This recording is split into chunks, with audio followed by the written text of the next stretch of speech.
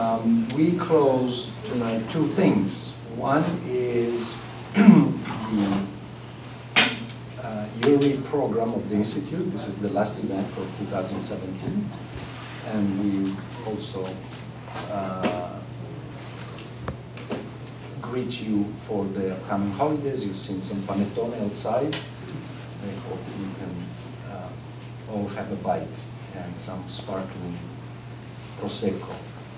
The other thing that we're closing tonight is our series of events dedicated to Pirandello.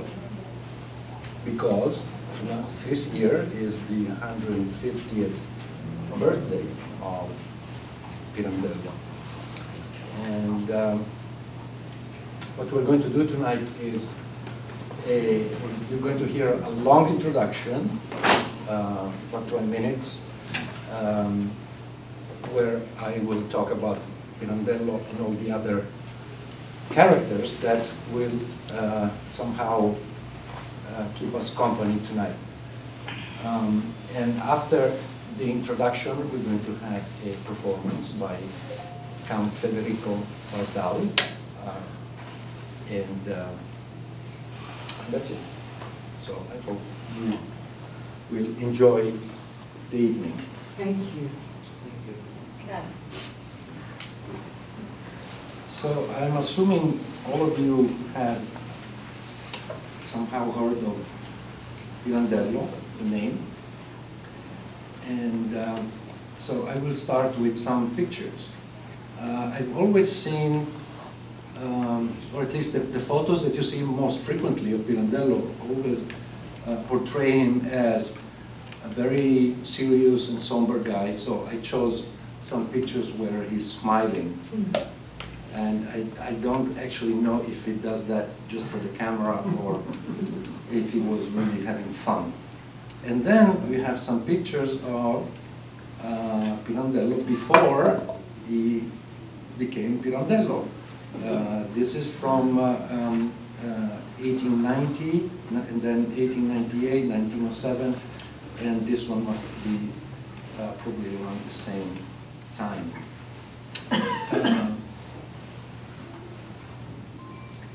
Pirandello comes from Sicily, and um, Sicily has been, between the 19th and 20th century, has been a land of uh, novelists, of narrators. We have, uh, on the right-hand side, we have Giovanni Verga, and then um, Vitaliano Brancato, Quasimodo, and Luigi Pirandello, who starts his literary career as a novelist and you probably heard the two most famous novels that he wrote, the late Mattia Pascal and Uno, Nessuno, Centomila, One, uh, No One, and 100,000, where, and that's the, the title where we got the title for tonight's event. But then, uh, um, Pirandello changes his course and becomes a theater writer. And we're going to see, I titled this section, How Pirandello Became Pirandellian. So we're going to see some photos that been released recently by Istituto Luce of Pirandello, whom you see in the middle there, discussing plans with actors. And this, I forget who this actress is or was.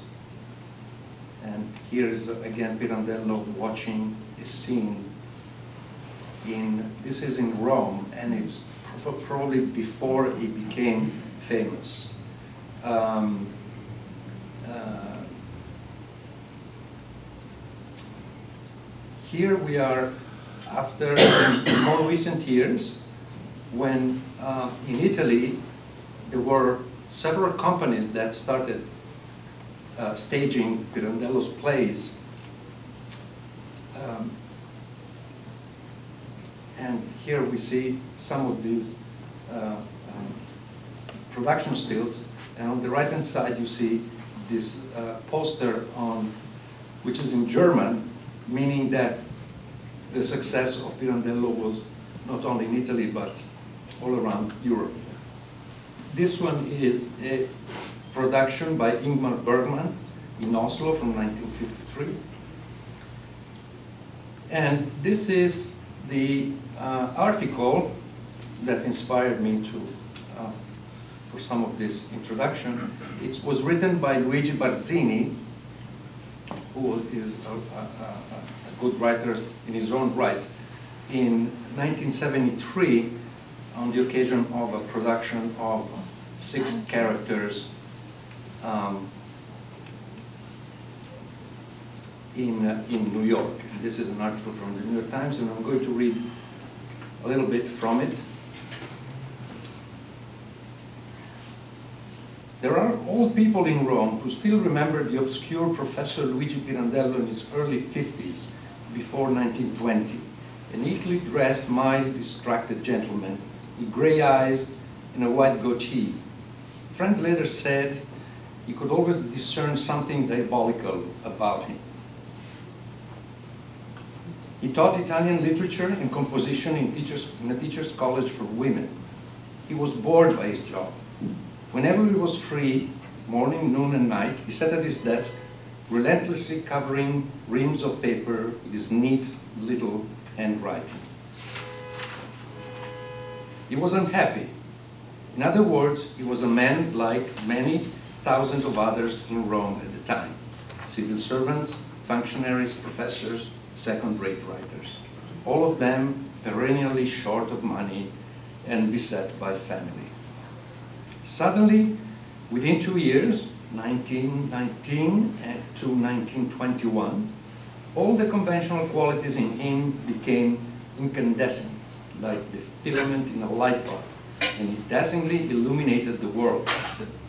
His bitter anger, his disturbing distortions of reality became relevant, a key to contemporary angst.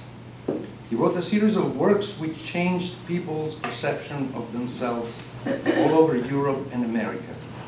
Two of his plays, his best, Six Characters in Search of an Author and Henry IV, also made every other play, including some of his own, an obsolete and dead, as obsolete and dead as stuffed birds in a museum.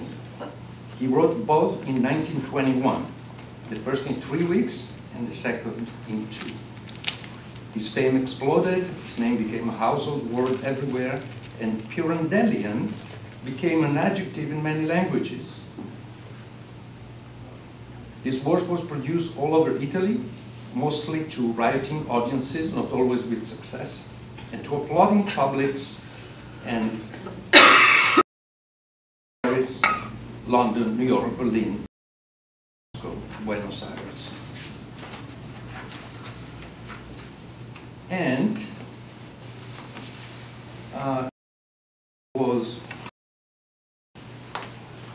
so great that he became a key figure in European modernism. Not only in Europe, but also in America and in Hollywood. Um, this is uh, Pirandello early involvement in, in cinema. Here we see, on the left-hand side, we see him with filmmaker Alessandro Blasetti. And on the right-hand side, we see a poster from a movie called Acciaio, Steel. It was a big project because he collaborated with uh, uh,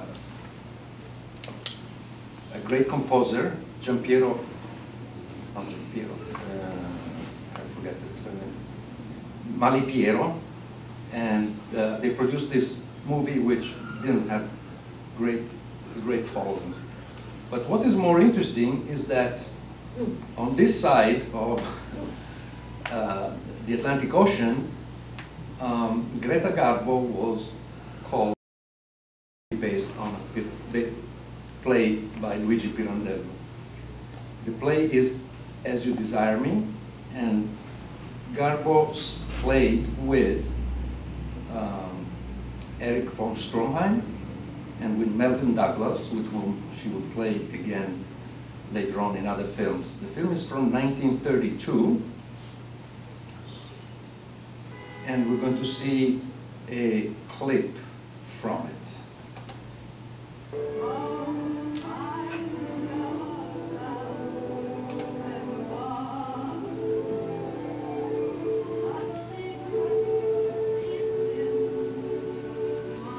It's actually a collection of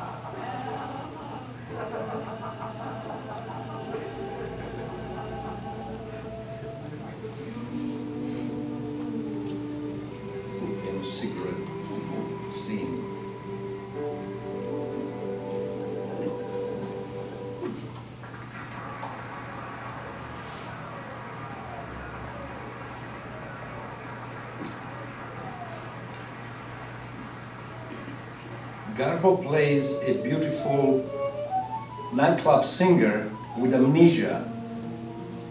She's carefree and swills glass after glass of champagne as she's surrounded by a bevy of male admirers.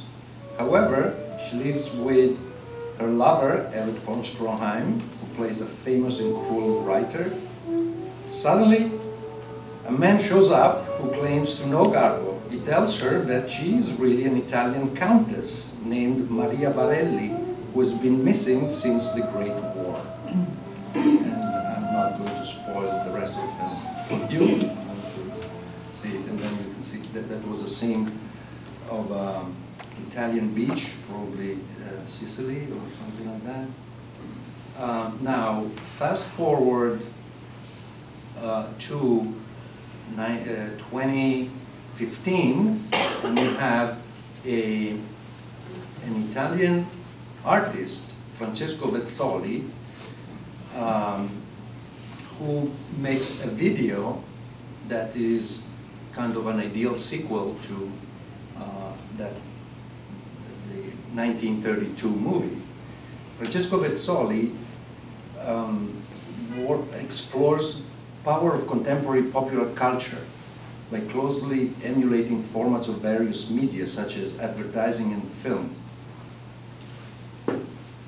He addresses ongoing preoccupation with the fundamental ambiguity of truth, the seductive power of language, and the instability of the human persona. His works include a trailer for a remake of Gore Vidal's Caligula, which is a movie that was never made, starring Vidal himself, Helen Mirren, and Courtney Love. An advertising campaign directed by Roman Polanski for Greed, a fictitious perfume, and stuff like that. Um, so we're going to see now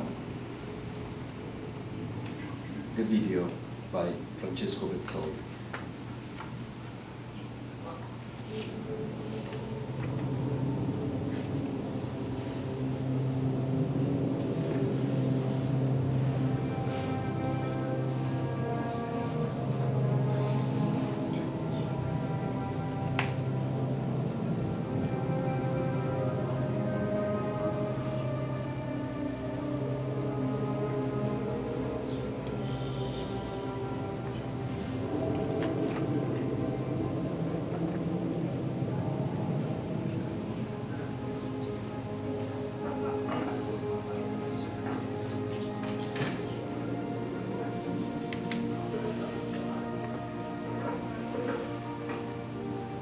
Da lontano. La partita si illumina. Applausi, un delirio. Non vedi più la ragione di spogliarti di quei veri colorati della pazzia. Puoi anche scendere in piazza, andare per le strade con lei. Nel caffè notturni. Dopo le tre, tra i buffoni di mattina. mi capita a terra, tutto a un tratto. Quando meno te l'aspetti qualcuno che ti passa vicino, sguisciando come un diavolo, e ti chiama. Dio, credetemi che lì c'è una che soltanto in me mi comprendesse il senso valenza. Per rifarla. Non come lei si voleva, ma come lui.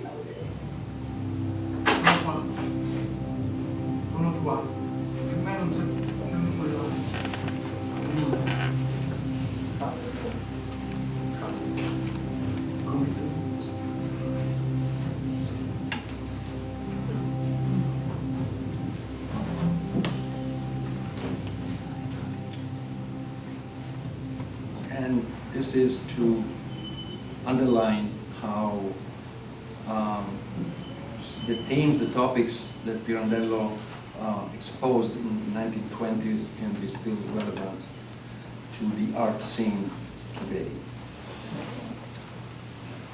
Let's turn the page and uh, 150 years of Novecento.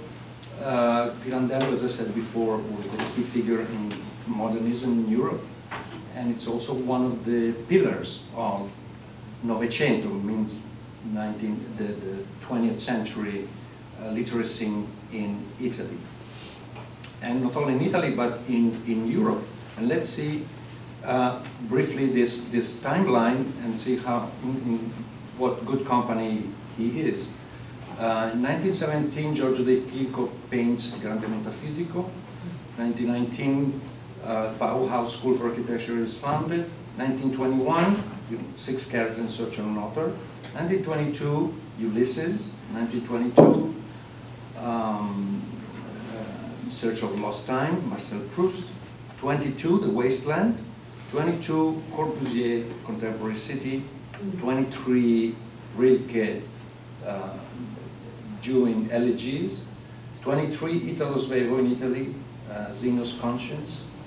27, Brecht, Three Penny Opera, and 27, um, Virginia Woolf to The Lighthouse. Uh, and I mention all of this because, and here we see Joyce, Woolf, Eliot, and Rilke. I mention all of this because uh, here enters Massimo Bontempelli. Um, we see him, uh, a portrait of, of his to the left and to the right, together with Pirandello and Pirandello's favorite actress, Marta Abba.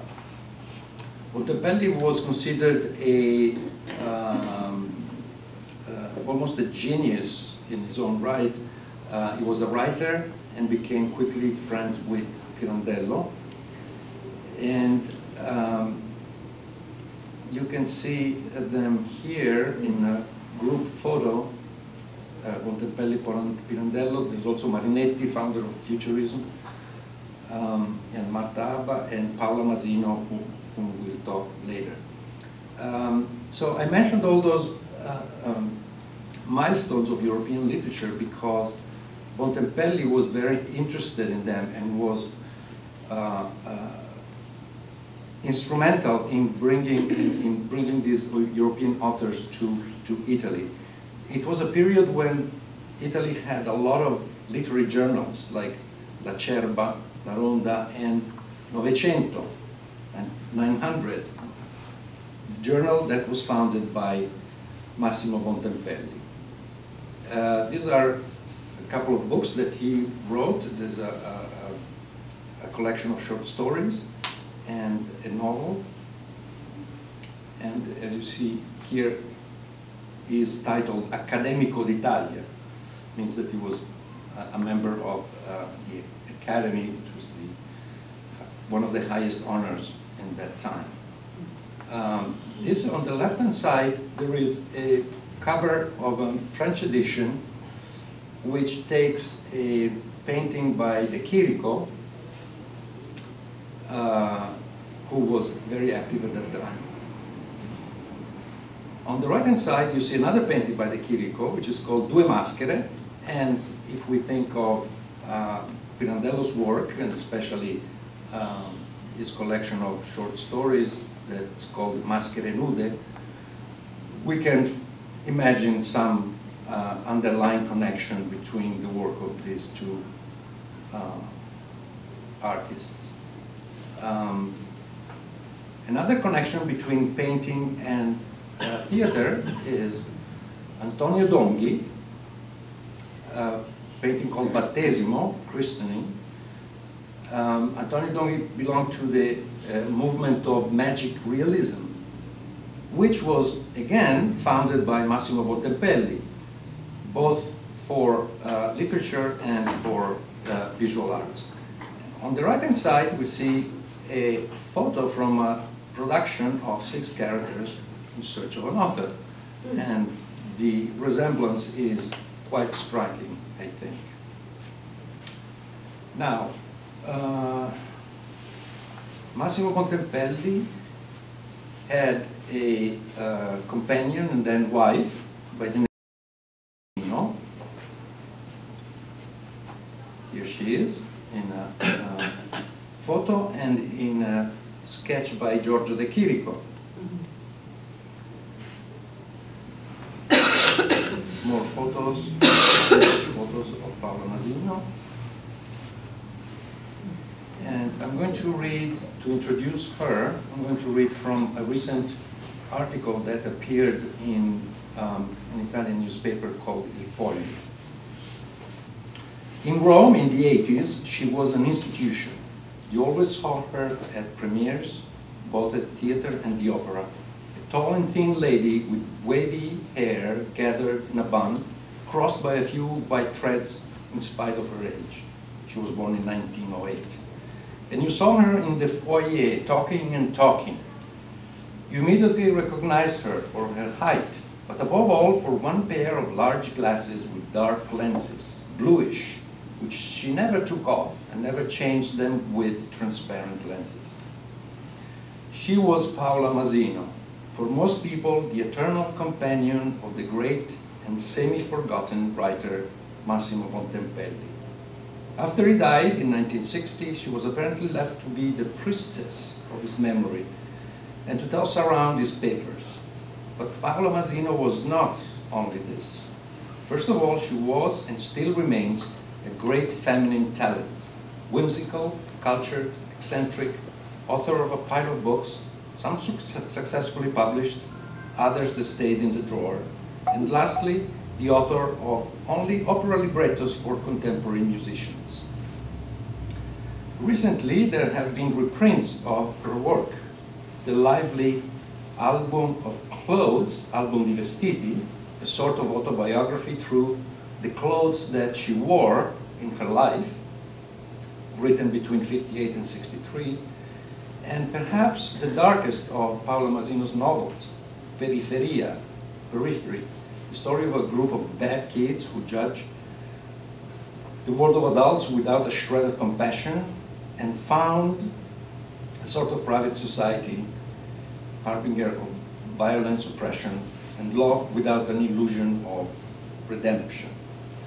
Quite the opposite of the fascist propaganda. This was a novel that, that she wrote in 33. Quite the opposite of the fascist propaganda on family and sexual roles. Periphery was in fact censored when it was when it came out from Bompiani, and the, its author was branded a pencil pusher. Uh, but the, uh, the, the, the, the, book that I, I think is actually more interesting is this one, and it has been translated into English, Birth and Death of the Housewife, Nascita e Morte. And um, you can imagine such a book coming out in, you know, during the fascist period. Uh, I think people were very happy about that. And I'm going to read a very short passage from it, just to give you a taste of the uh, um, irony of Masino. As a child, the housewife was dusty and sluggish. The mother had forgotten to raise her and now bore a grudge against her because of it. She would say over and over, What will you do when I'm no more? A day will come when you'll kill me with all this heartbreak. Then I'll be curious to see how you manage alone in life. The child kept quiet, heavy with resentment against herself for being doomed to kill her mother with heartbreak. Obsessed by that thought, she searched, she searched in all the books and newspapers she could get her hands on for cases of death by affliction. Either she could not find any, or there were so few that she plunged into an even more desperate acceptance of the fate that was to turn her into a character, a cruel prototype. Deeply engrossed in the idea that all that was left for her was to perfect her sad role as the murderous daughter, she had already started to reduce all other thoughts and motions to a minimum, lying inside a trunk that served as her wardrobe, bed, dresser, table, and bedroom, a trunk full of blankets, rags, bits of breads, books, and funeral remains. This is another photograph of Paolo Masino, and now we come to the history of Nemo, the um, monologue that we're going to see uh, uh, performed here in a few minutes. And I, I, want to read now the story that Count Federico Wardal told me, and uh, we want to share it with you of how he came uh, in possession of this uh, text. As a young man, this is the count that speaks, as a young man I was athirst for Pirandello. I do not remember when I read him for the first time, but when I met the writer Paola Masino, an intimate friend of Pirandello at the home of my friend and actress Elsa De Giorgi, I could not help asking hundreds of questions about Pirandello. I saw Signora Masino several times, but then her health started deteriorating and I saw her less, I saw less and less of her. However, she had promised to bring me a text by Pirandello, a monologue that only few people knew of. And finally, one day, it was the winter of 1988, we were in a Parioli bar in Rome. She took something out and told me to read it out loud. It was a faded two-page typescript, and I rashly told her that reading was not my specialty, but that my field was interpreting. I immediately regretted what I said, fearing to appear incompetent and arrogant in the eyes of Masino. But I took courage and I started reading. The monologue totally absorbed me. And before lunch, Signora Masino interrupted me. I trembled. I thought I had disappointed her. No, on the contrary, she said she was in a hurry because she had a doctor's appointment. But Nemo, this was the monologue's title, I could keep it. It was mine. I could not believe it. I asked about copyright. She said that there was none. I was amazed. Told me that the monologue had never been filed for copyright by Pirandello and that, as a token of gratitude, he had entrusted in 1928 to her and her husband, the writer Massimo Bontempelli. If on the one hand I was thrilled, on the other I was hesitant. How could the name of the great Pirandello be stamped on the monologue if I wanted to perform it? Signora Masino said, but it's clear from everything that Pirandello wrote it. This is the work that most epitomizes him. She also told me that she wanted to see Nemo staged before she died and asked me to stage it as soon as possible. But so many things started happening in my life and circumstances preventing me from acting the monologue. Then Paola Masino died. I grieved terribly. Without her, it did not make much sense for me to stage the monologue. I was afraid of making mistakes. Who to ask for indispensable advice? No ideas of how to highlight the beauty of the text and the strength of its meaning. I let Nemo sleep. Now, just a few words to introduce the, uh, uh, the setting of Nemo.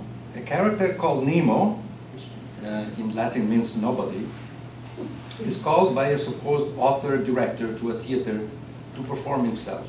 But when Nemo arrives, he is strongly disappointed because the place he has been summoned to is not a theater, but a strange setting called TV studio, where no rehearsals are allowed.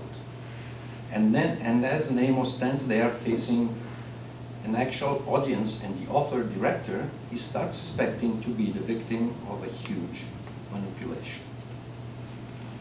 And we close with a quote by Pirandello. Life, my dear, is a stage where you play to be serious.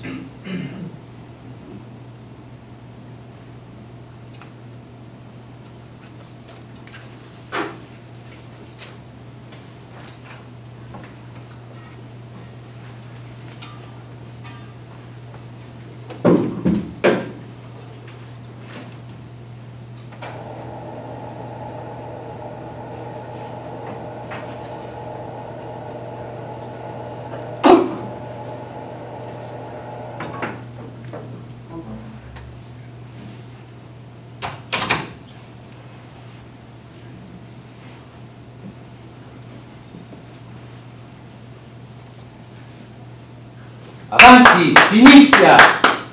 No, no! Why a prompter? Oh, no sense. I am a character, I know my lines. Let me go out from here, please.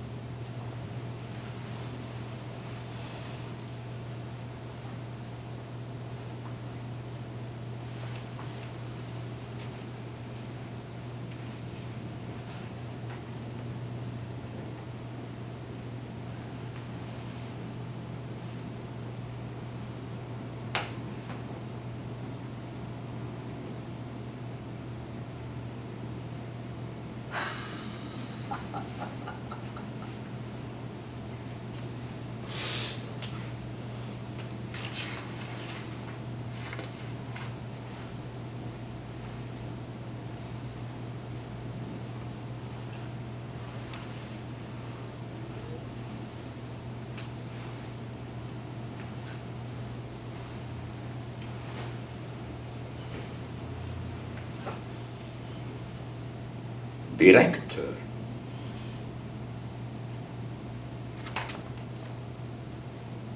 Our agreement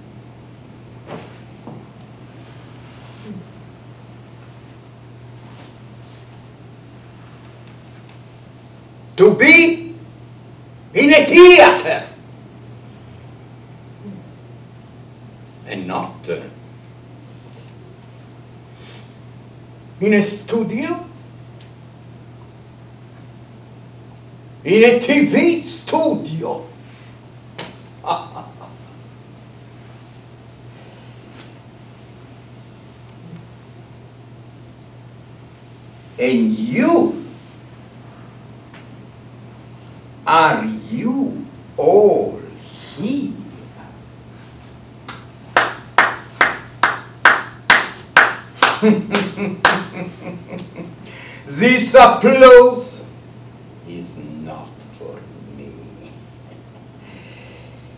Yes, it is artificial, mechanic, and this is the difference between theater and TV. Ah.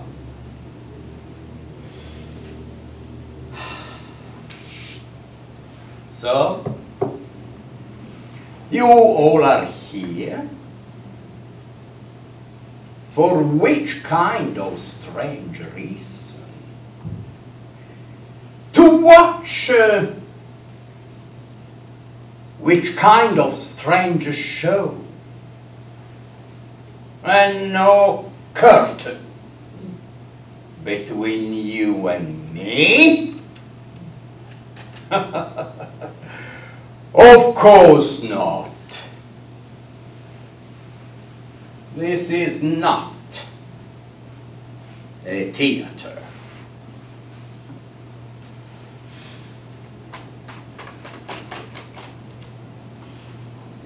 Lines, lines, lines, lines. No entrance. No exit. Two. as uh, the universe. No entrance, no exit, but this is not uh, a universe. This is um, nothing. That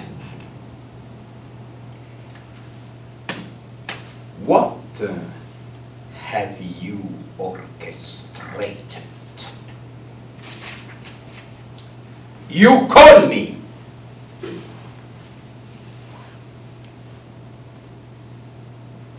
To be in a theater and not theater. You call me for uh, rehearsals and no else.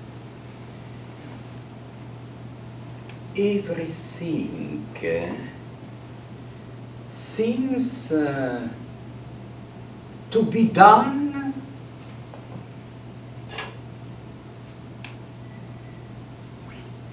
beyond me.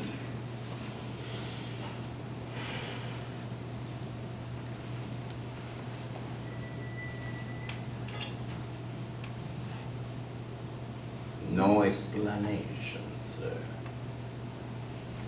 So, you are confirming.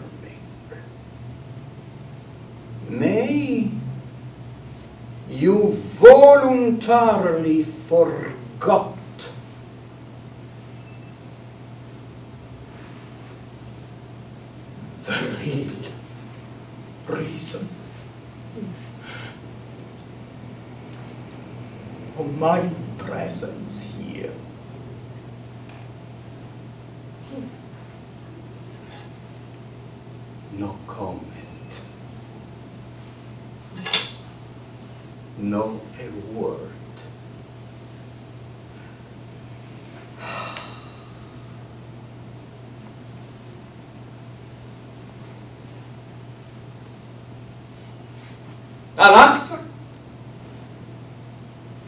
without lines. As a, a character without a play. No an actor, no a character, nobody. Nobody.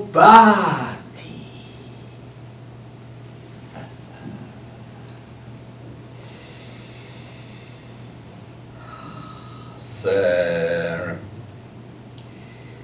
do you seriously want that? Really? Easy game. Do, do nothing. Just uh, give the sensation, the feeling. You offer something while you are offer nothing.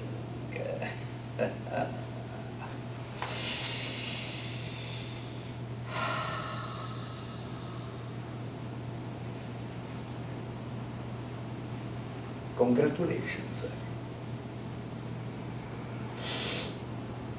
That's why those people, you, in that window, look at me. Look uh, at not existent reality. Look at uh, nobody.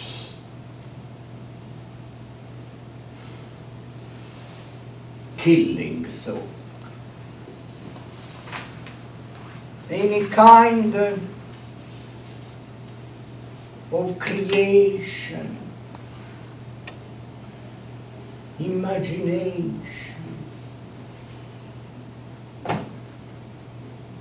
You all must have so big non imagination.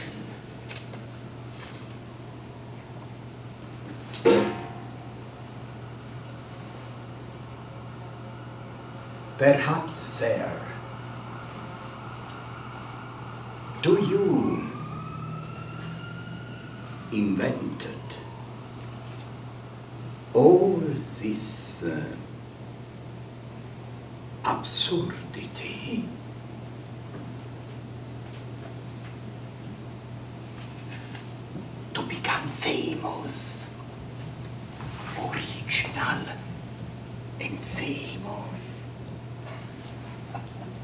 Oh, your eyes are not so happy now. Why?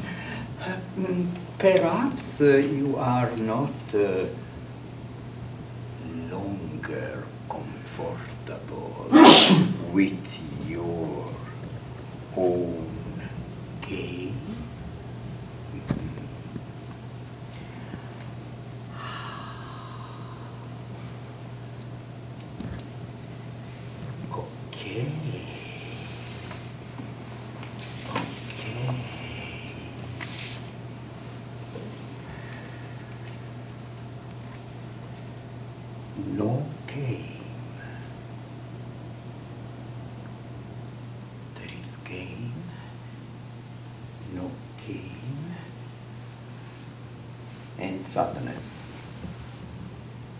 Those faces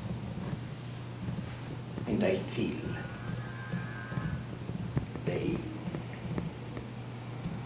ask me for something. And what I can give them if even me I don't exist. Oh, I got it. They are sad because they trying to watch something.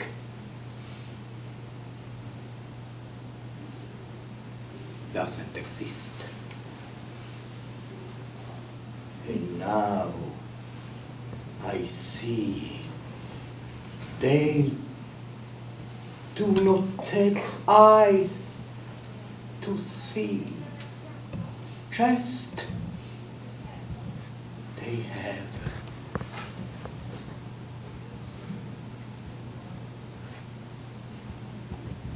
that window to watch. That window that he just a mask.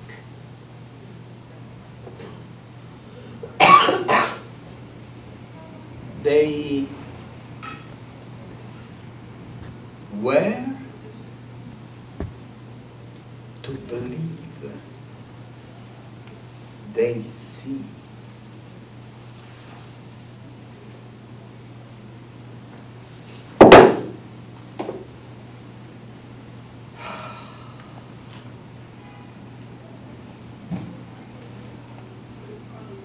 And uh,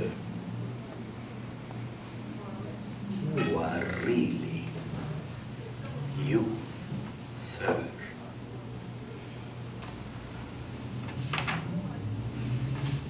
You are not. A director. You are not an author.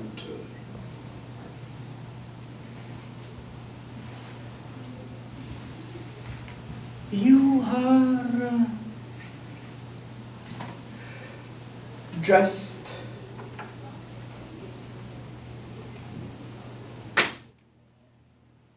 an impostor. No drama, sir. You can't redeem yourself or change the situation. No entrance, no exit here for you too.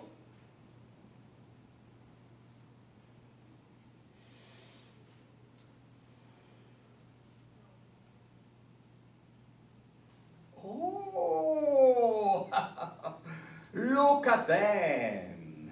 They are happy now. Why? Because uh, I giving them what they are looking for, what you promised them. A story, a story with a big character. Where the character is a story, the story is a character. Doesn't matter. Say, I trying to encourage you to tell us who is the big character here? Me?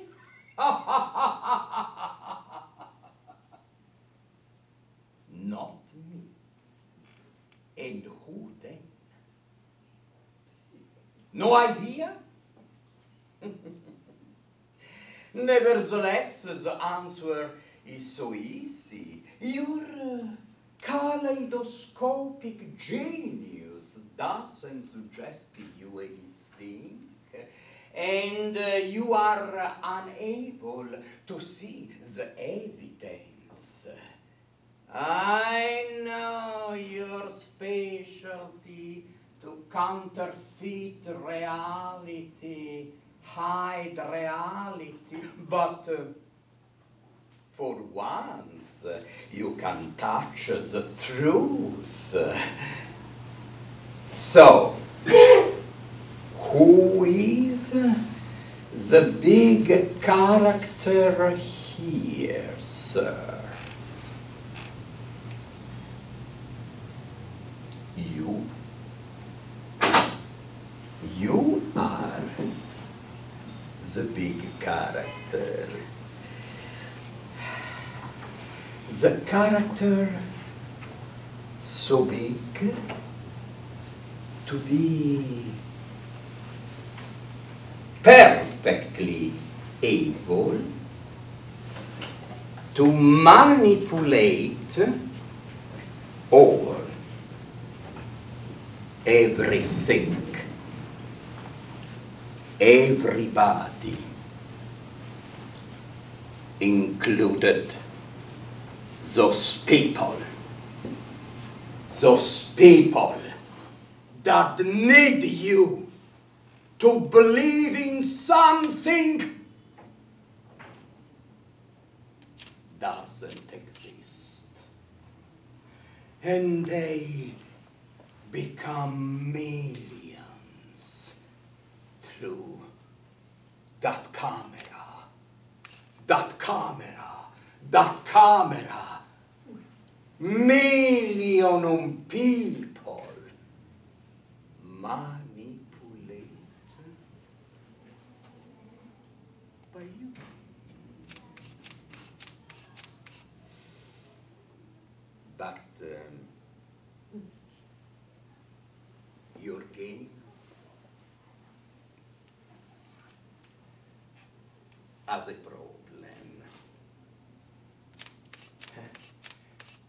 are not able to see forms forms aspects. There are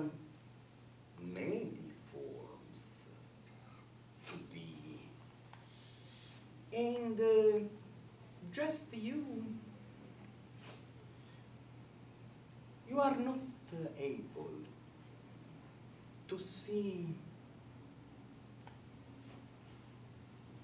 my form. So believe me, your control is not enough. But don't worry, you remain a big character, a big impostor. I am not insulting you. This is you, and you not observed by my eyes. Your author created you as an impostor. So, you are an impostor for everybody. and remember, I am not your invention as your property.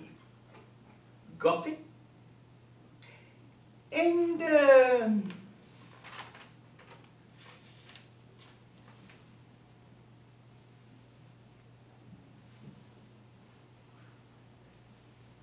about these people.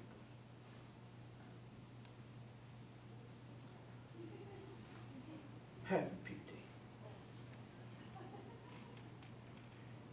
Never you felt compassion.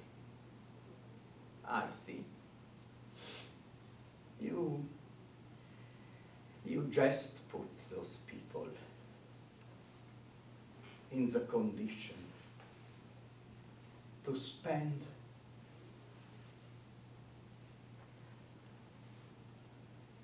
their entire life to go nowhere. Right?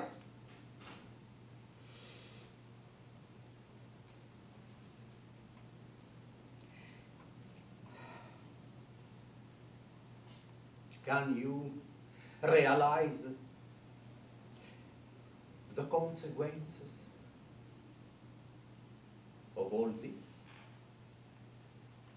No, no consequences. So you too are blind.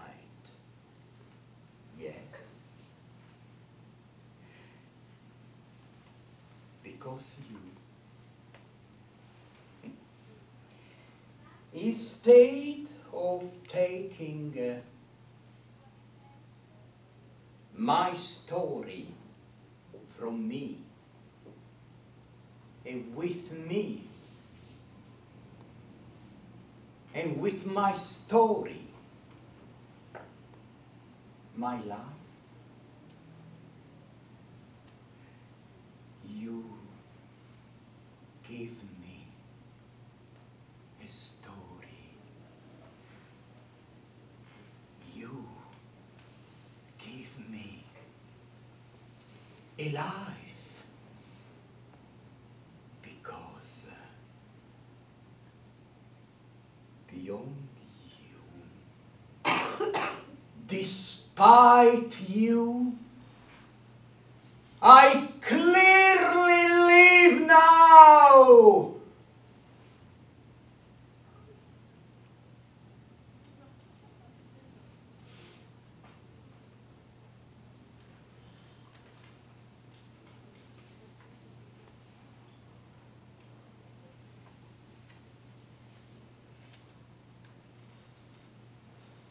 and I feel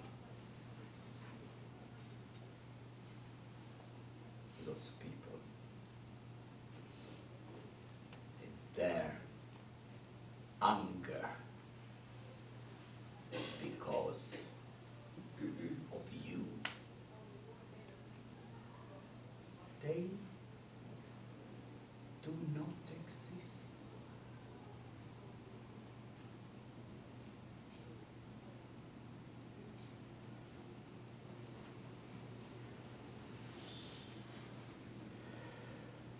I can see everything through your camera.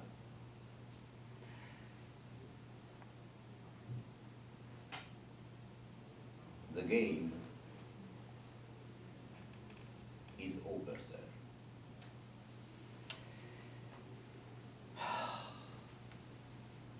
Let me breathe. Let me touch my freedom, or I totally unmask you. No? Okay.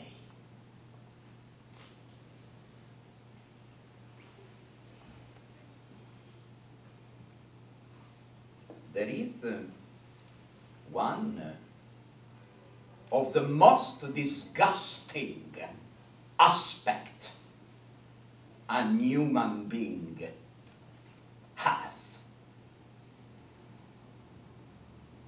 It is about what uh,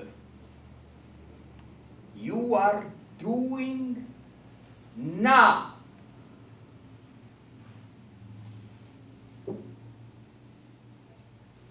To the grief of the people.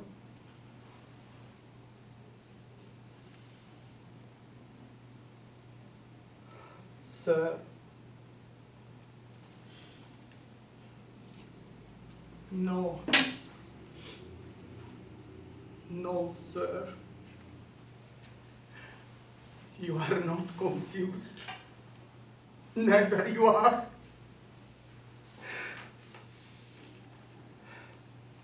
Can I go into details? You have deprived them from every identity, replacing their eyes through that camera, that window you totally own. And about me,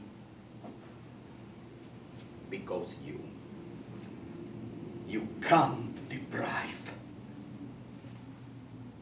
from me my identity. Having me, no identity. You are trying. You are trying to capture my grief. The grief of no identity. Is it clear enough? Your cruelty, sir, is able to cheat me, showing, showing yourself to my eyes as my creator, my father, my mentor, my author, my author.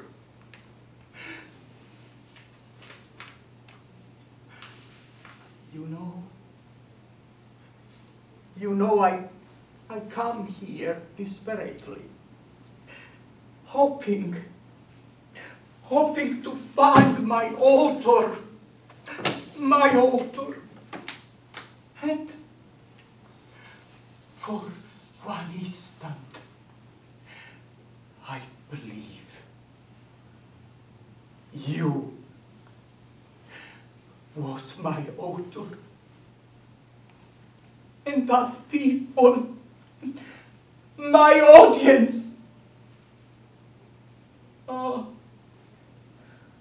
oh, that camera, that camera puts your mind and your vision of track, of track.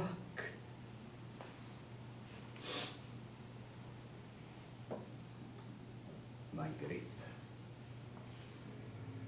my grief is not something you can catch. By spotlights or camera.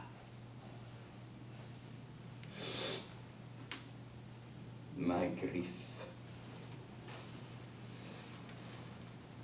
is not to appear. Only people who desperately fight to be themselves, they can see my grief, can touch my grief, can feel it.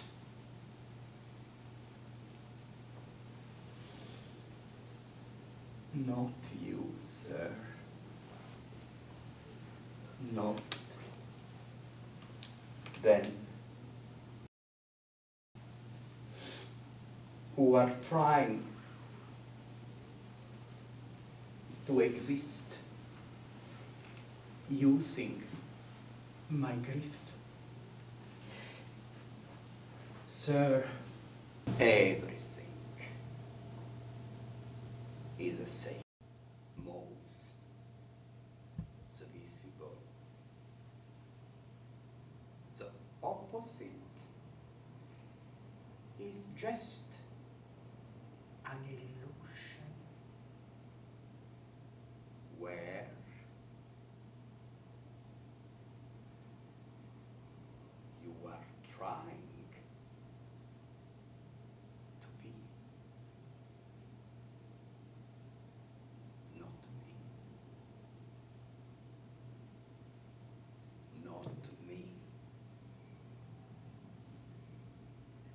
my name.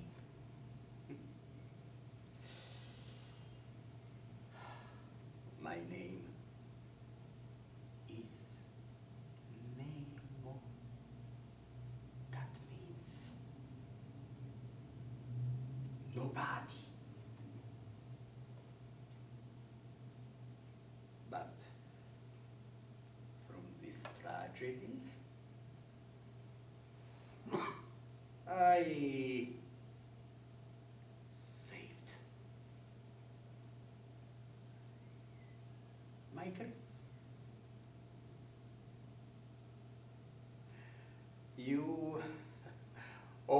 are free from this tragedy, trying to be nobody, and immersed in this condition, if perhaps sometimes you believe to suffer using the suffering of other people like me. It is just a disgusting illusion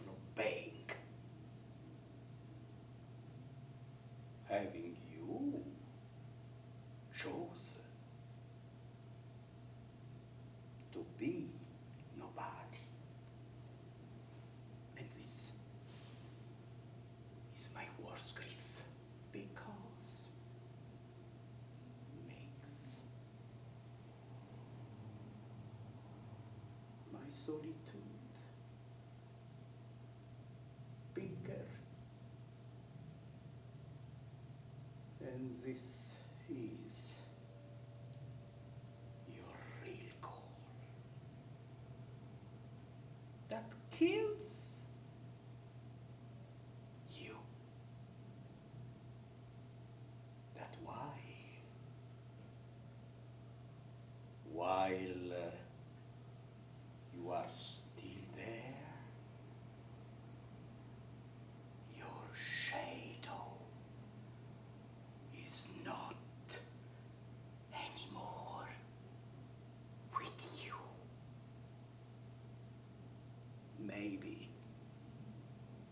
because now